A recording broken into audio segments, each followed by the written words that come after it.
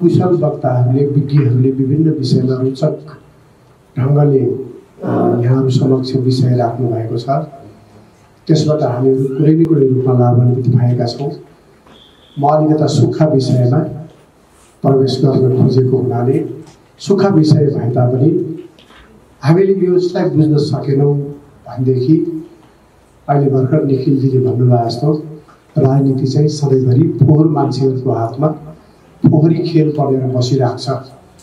त्यसैले हामीले एउटा के प्रारम्भ गरे हौँ भने आफ्नो जीवनमा कुनै न कुनै रूपमा सफल भएको व्यवसाय गरेर या कुनै पेसामा रहेर या कुनै क्षमता प्रस्तुत गरेर या कलाकारिता गरेर कुनै पनि क्षमताबाट सफल भएका मानिसहरूको हातमा राजनीति गयो भने देश सफल हुन्छ भन्ने एउटा विश्वासका आधारमा अनि तपाईँहरूले परिचय गर्दाखेरि पनि विभिन्न पेसा व्यवसाय अरू अन्य आफ्नो प्रतिभा क्षमताहरूबाट साथीहरूले परिचय दिनुभएको थियो।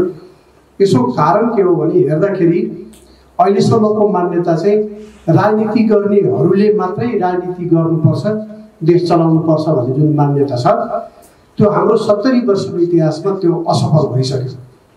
यो गलत रहेछ भन्ने थाहा भइसक्यो। सत्तरी वर्षको इतिहासले के प्रमाणित गर्यो भने खास गरी यो प्रजातन्त्र स्थापनापछि दुई हजार सात सालपछिको इतिहासले प्रमाणित गरेको कुरा के हो भने राजनीति बाहेक केही पनि नजानेका मानिसहरूले देश बनाउन सत्ता छन्।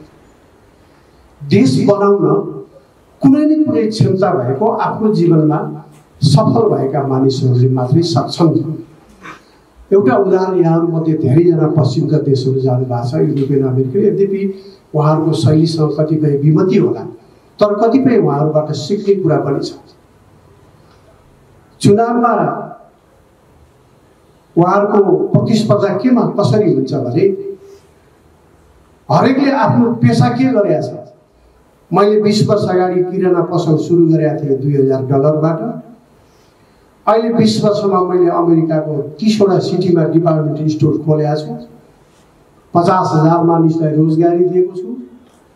वर्षको करोडौँ डलर म ट्याक्स तिर्छु। र मैले सोसल वेलफेयरको लागि यति रकम छुट्याएको छु। र म एउटा सफल व्यापारी हो। मलाई तपाईँहरूले अमेरिका जिम्मा दिनुहोस्।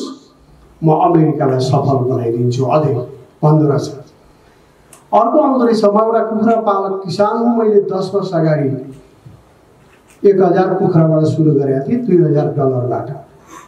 अहिले मेरो अमेरिकाको धेरै ठुल्ठुला सिटीहरूमा कुखुरा फार्म छ। झन्डै दुई अर्ब कुखुरा मैले पालेको छु। मैले अमेरिकालाई यति ट्याक्स तिर्छु देशलाई। मैले यति पिपुललाई म कुखुरा सर्भिस दिन्छु। र म यदि सोसल वेलफेयरमा पनि मैले यसो गरेका छु। त्यस कारणले मलाई तपाईँहरूले समर्थन गर्नुहोस् भोट दिनुहोस्। म एउटा सफल मानिस हुँ सफल किसान हुँ। म अमेरिकालाई सफल बनाइदिन्छु भनेर भोट माग्दो रहेछ। त्यसपछि अर्को आउँछ एउटा वकिल आउँछ। वकिलले भन्छ कि मैले तिस वर्षदेखि वकालत गरेको छु मैले थुप्रै अमेरिकी कानुनमा रहेको त्रुटिहरूलाई मैले सच्याएको छु। सही बाटोमा मैले देशलाई ल्याएको छु। र मैले कैयन निसहाय मानिसहरूलाई न्याय दिलाएको छु। म एउटा अत्यन्त सफल कानुनी व्यवसायी हुँ त्यस कारणले मलाई भोट दिनुहोस् भयो यो प्रकारले भोट माग्दो रहेछ। अब हाम्रो देशमा चाहिँ मलाई रामबहादुरजीले दस वर्ष अगाडि दिएको कोट अहिलेसम्म मैले फेर्न सकेका छैन।